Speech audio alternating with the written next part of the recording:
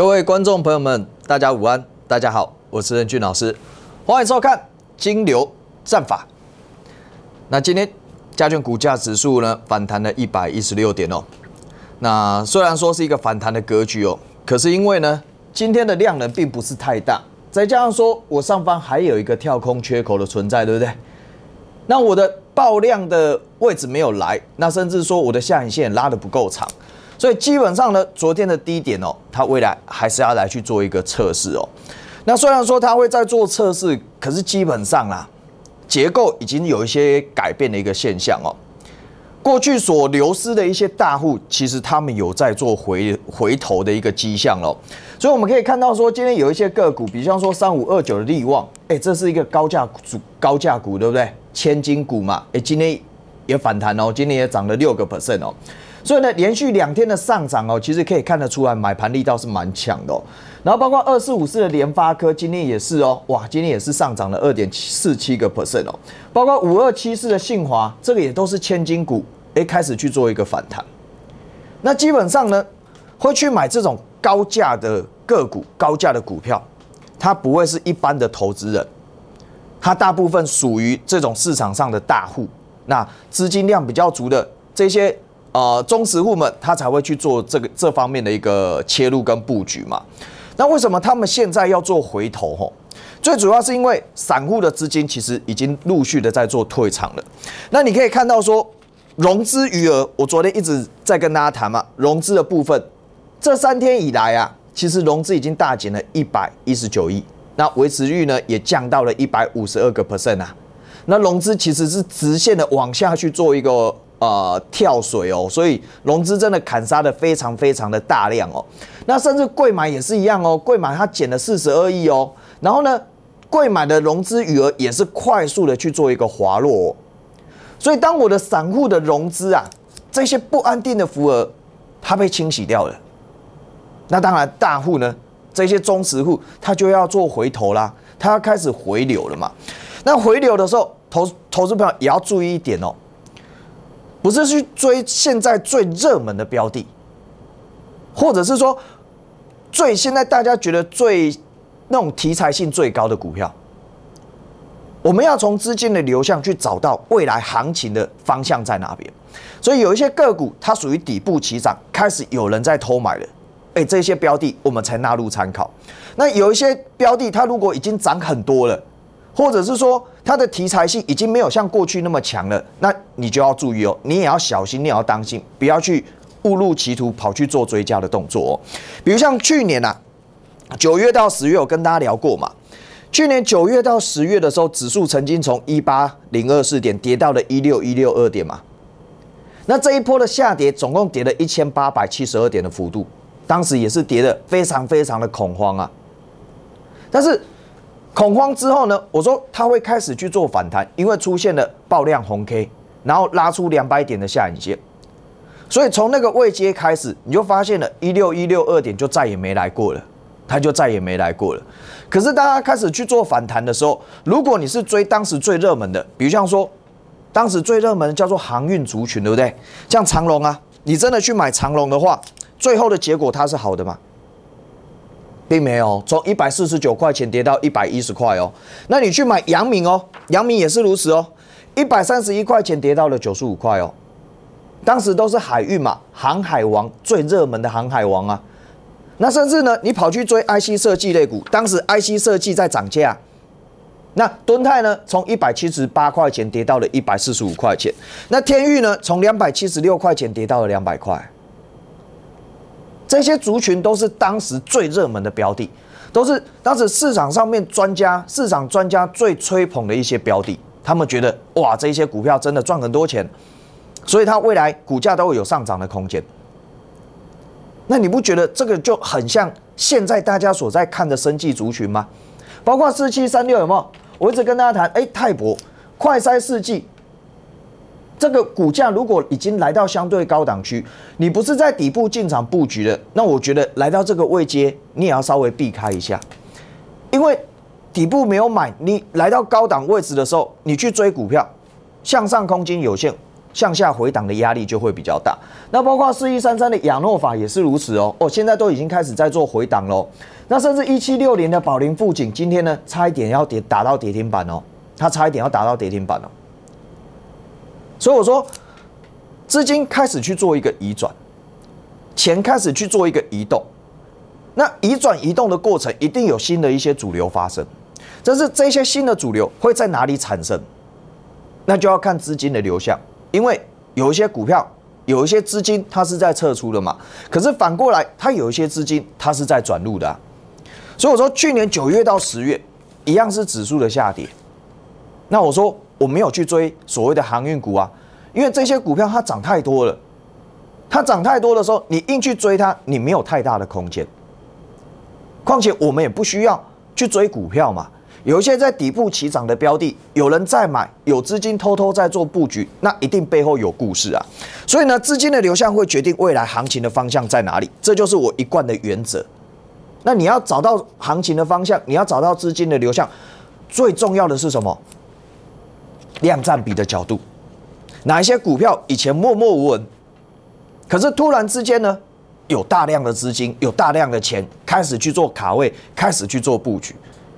那你这些个股呢？如果是属于低档的，开始去做起涨的话，那你风险最小，可是你的获利却是最大的，对不对？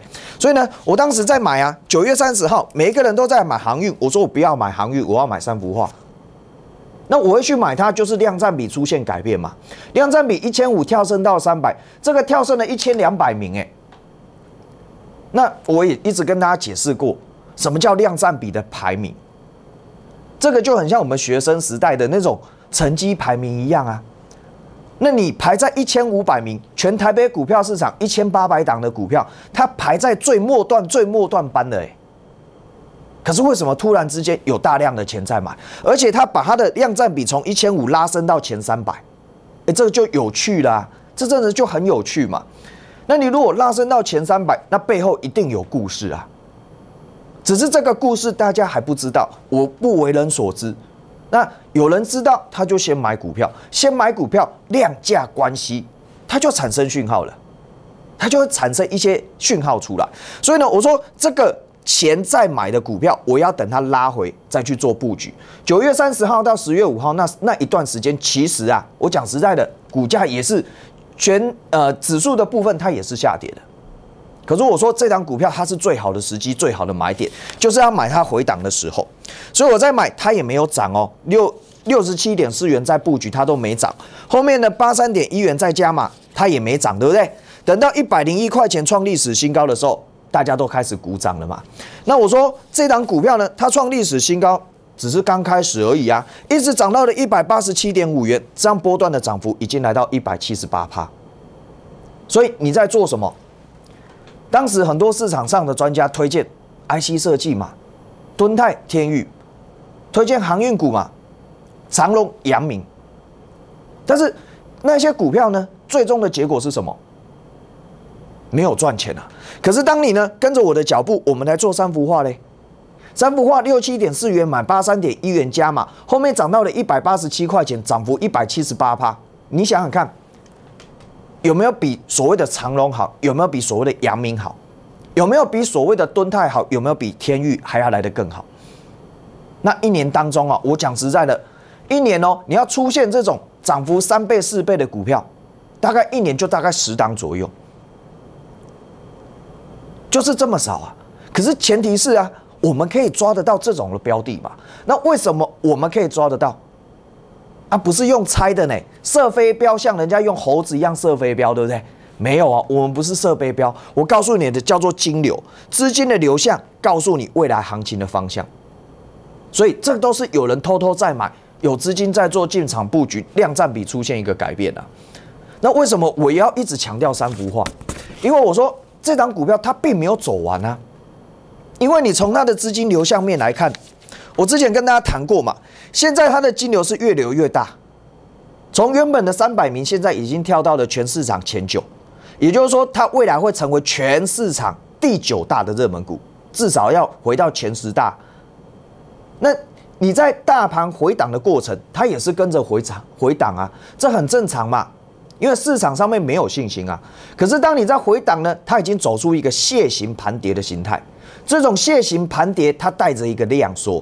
那量缩呢，我的资金并没有离开，对不对？我原本这些下去做布局的人啊，他没有离开嘛，他没有离开楔形盘跌的末端，他会快速的拉过起起跌点哦，他会快速的拉过起跌点。所以我一直强调说，这张股票还要再买，它还有进场布局的机会。那我会想去买它，是因为它有很大的空间。台湾的特殊化学，因为台积电的关系，它带来了一个很新的样貌。以前呢，我们台湾的化学产品大部分都是传统产业，那那种都是脏脏臭臭、黑麻麻的。可是你现在去看哦，包括你去看圣衣，包括你去看三幅画。他们其实现在所做的电子级的化学也是无尘室哦，因为他们要做到什么？做到兆分之一的不良品，也就是说，我的杂质只能有兆分之一啊。那有多大？就是在整个教室里面就这么一粒的沙子而已哦，就只能能容下那个一粒的沙子。那当然技术能力啊，能量是非常非常强的，它是非常厉害的。所以以前大家最看不起的化学，现在已经变成明日之星了。甚至连 Intel 他都来台湾啊，台台湾找谁？他他除了找台积电，他还跟三幅画接洽，他还跟谁？还跟圣衣接洽。所以我们的化学品，特用化学品已经要走进全世界了。所以包括一七七三的圣衣啊，以前呢这一档股票，我讲实在的，它以前长什么样子？我们看看，以前只有七十几块，不到一百块哎。那为什么它现在可以价值两百多块？因为值产生变化了，因为整个产业已经开始不一样了，因为有台积电的澳元嘛，所以圣衣它也出现了一个值上面的变化。所以我认为圣衣三幅画未来他们会相互的比价，他们会开始产生一个比价的效果。所以当他们开始产生比价效果的时候呢，会互相的去做拉抬。所以我认为这种股票回撤。你要找机会点来去做切入，你要找买点来去做布局。如果不知道怎么去做切入，欢迎广告时间拨通电话跟上脚步来。我们先进广告。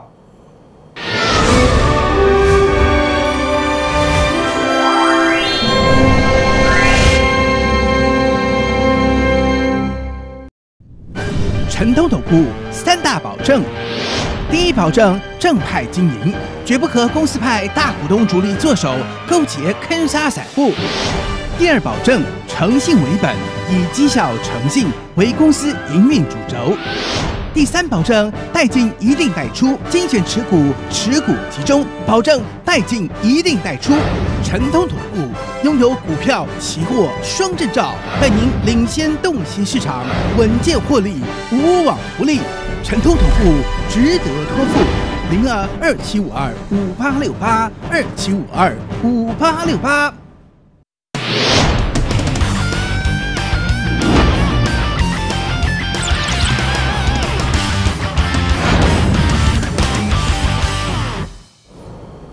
大家好，欢迎回到节目的现场。那刚跟大家聊的是半导体化学的部分。那因为台积电的关系，台湾的半导体的这个化学产品开始出现值的变化。那也吸引就是说，包括 Intel 它来台湾哦，除了找台积电以外，也找台湾的一些化学厂商下去做一个接洽哦。所以呢，这些化学品未来都有可能成为所谓 Intel 的供应链哦。除了台积电以外，还有可能成为 Intel 的供应链哦。所以这一块市场的大饼它非常非常的大，而且它还在持续的扩张当中。这种成长型的标的，你只要遇到它股价回档，找到一个合适的买点下去做切入，我相信向下空间有限，未来向上获利自然会无穷大。那同样的，除了圣衣三幅画以外，像这一档标的也是哦，半导体化学的运输，最近投信开始去做大量。布局的动作，那金牛比呢？从一千跳到三百，以前也是默默无闻啊，大家都不晓得，那没有关系嘛，你只要知道说洪老师知道他在做什么了就好了。因为化学运输啊，这种东西它不是一般的厂商随便一个阿猫阿狗就能够做的，它不是像油罐车一样啊，随便开一台油罐车，我载这个所谓的化学品、特用化学品就可以呢。它里面都要有很特殊的材料，它去去做一个包装，否则它会产生一个腐蚀的一个状况出来。那这些特用化学品都非常的毒啊，非常的毒。所以呢，全世界能够做到这个特用化学品运输的只有两家，全世界就这么两家公司，其中其中一家就是在台湾，那另外一家在日本。所以它也是属于一个寡占的市场。那它的客户群也包括了 Intel，包括了所谓的台积电，都是它主要的客户。那现在三幅画跟所谓的圣衣，它也是加入它的阵营里面了。所以呢，当三幅画圣衣它可以持续成长，台积电成长，Intel 呢，哎，它也来找它的时候，当然啦，未来的成长动能也是无可限量啊。所以投信呢，它已经悄悄的再去做一个布局啊。那这种股票，你只要能够逆势强于大盘，未来。自然会成为市场上的主流方向哦，所以我说资金的流向非常的重要。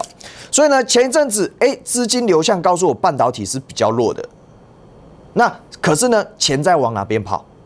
钱在往所谓的电气电缆的族群，所谓的钢铁族群，还有所谓的通信网络族群跟贵买生衣嘛。那我说最重要的贵买生衣啊，它因为已经来到一个二线股在做起涨的一个状况，所以我说生技股先不要碰它。但是有一些机会点，它如果属于底部起涨的，像所谓电气电缆呢、钢铁的部分嘛，它是属于底部起涨的话，哎，这就有趣喽，这就有趣喽。所以呢，我当时跟大家聊，在四月十三号的时候，我跟大家谈过一档标的，因为这一档标的底部起涨，大量资金在买，量占比呢从三百跳升到二十，那这里是主力的收获成本区间啊。那我的量占比原本是三百名，后面跳升到二十名，这个大量的资金在买，它为了什么？看到它的未来嘛？有人在买，有资金在做进场布局。那以前默默无闻，现在呢一举成名天下知人。哎，这种标的就很特别哦。那它又不是属于高档的。你说现在的生技股，它就是在高档嘛？可是这种位阶，它是相对低的位阶啊，所以呢，你的低位阶后面才有拉动的可能。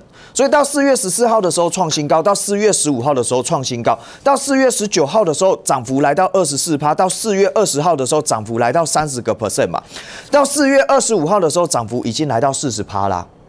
那我说来到四十趴，它会开始去做休息，它会开始去做整理嘛？那你在休息整理的时候，你要找机会点下去做布局啊。那你看哦，一样啊。那既然他在做休息整理，可惜啦，他修正的幅度不够大啦，还没有机会去做加码布局的动作。但没有关系嘛，你在低档买的，你就不用担心，你也不用害怕。像类似这样子的标的，哎，你就好好的抱着，未来自然有获利的一个空间嘛。可是同样的，我们要去思考一点，为什么华兴它会涨？为什么这些资金他要去做进场布局的动作？因为呢，中国啊，现在为了要促进经济，有没有？习近平现在在做一件事情，他要亲自监督，监督什么？监督做基础建设的计划。这个基础建设现在已经不止美国在做了，现在中国他也要去做基础建设。那这个基础建设里面最简单的就是铁路、公路跟所谓的道路嘛。那你在做修建这一些基础建设的时候啊，你是不是需要用到很多大量的所谓的钢材的部分，所谓的不锈钢的部分？所以现在的原物料价格就会开始一直维持在那个高档不坠啊，报价可以一直维持在高档，它下不来。那相对来讲，你手上有低价库存的，你未来呢获利空间自然就会大。所以当你这些。这些所谓的基础建设计划开始启动的时候，我认为钢铁股也不止华兴而已啊，很多像低位接的，像二零二三、二零三零的这一档张元嘛，这个资金大量的去做布局呢，这买的也不是普通人啊，对不对？那我呢整理过后量缩回档，对不对？那你在回档的时候，它是走量缩啊，那你回到季线的位置，其实它比大盘都还要来得更强哎，那甚至二零二九的剩余也是哦，这种不锈钢的族群哦。它都是跟华兴同一块的哦，那这里呢也是有大量的资金开始去做布局的动作，大盘回档它走量缩嘛，那卖压不重啊，现在只缺一件事情啊，买盘回来而已，只要我买盘轻轻一拉，筹码安定，它很快的就会回到它起攻点的位置，所以这种标的它就是有政策题材的去做加持啊，可是资金它可以领先市场去帮你去做分析，他告诉我说，这个股票五郎的逃位，有人偷偷在做进场布局，所以呢，华兴它会带动其他相关的族群开始做启动。那除了钢铁族群以外，其实你还有一些哦，像这个中国在提重建计划、在提基建基础建设计划的时候，除了所谓的铁路、公路，还有一项很重要，就是网路啊。因为包括美国的基础建设啊，他们也要做网路，对不对？他们要扩大他们的基础的频宽，为因应五 G 的到来嘛。所以呢，拜登他花了这个签了一点二兆的这个基础建设计划里面，其中有六百五十亿的美金，他都要投在所谓的网络建设。那中国这一次也是哦，中国它要发展它的高速运算云。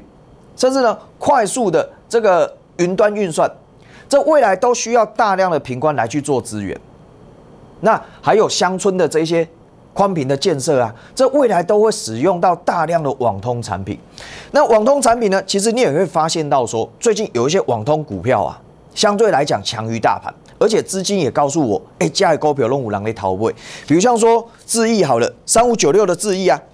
大盘都已经破线哦，都已经离月线来到负四哦，结果股价居然呢，它的股价居然还维持在月线之上。那量占比呢，从四百跳升到四十，有没有大量的资金来去做切入？那这些去买的人，哎，他也不是一般的普通人哎，投信资金买非常的多，投信买的非常多。那以他今年的获利来讲，跟他现在的股价来说。真的也是很便宜的，那包括有一些哦，不止一档哦，包括宇智的部分，大盘都已经破线了，为什么像这种股票它还能撑在月线之上？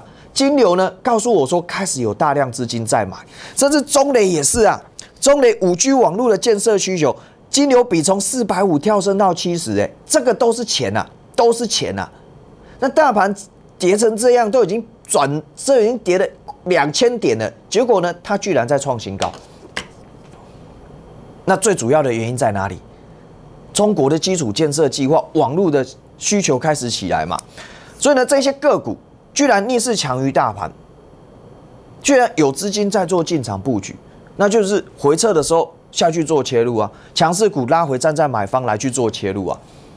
那一旦呢，你的买点是对的，向下空间有限，未来自然向上获利无穷大。所以资金的流向，他告诉我说，包括在钢铁，包括在所谓的。这个网通族群都有一些大量的资金悄悄的在在做布局。另外呢，还有在车用相关，因为特斯拉公布了，哎，它第四第第一季的财报，结果呢，创获利创下史上新高嘛。那我获利创下史上新高的时候，相关的个股也是啊，它当然都会有雨露而均沾嘛。可是如果说你现在还去买，大家都知道的，比如像说三六六五的茂联好了，那这个可能就空间就比较小了。因为大家都知道了嘛，可是呢，大家不知道的是什么？不知道的叫做所谓的车用镜头的部分。这个车用镜头，我之前跟大家聊过，最强最强的就是所谓的四九一五的自身嘛。那自身我在买的时候，我也跟大家谈啊，我说这种股票呢，也是有人在买，有资金在做布局的动作，量占比从七百跳升到一百二，大量长红棒拉出来的。它拉出来了，那我最差的位置点在这个地方，五十块钱，向下空间有限，未来向上获利无穷大。所以呢，他在做回撤的时候，我就告诉他说不要怕，等他回来的时候继续买嘛。强势股拉回站在买方，后面创新高了。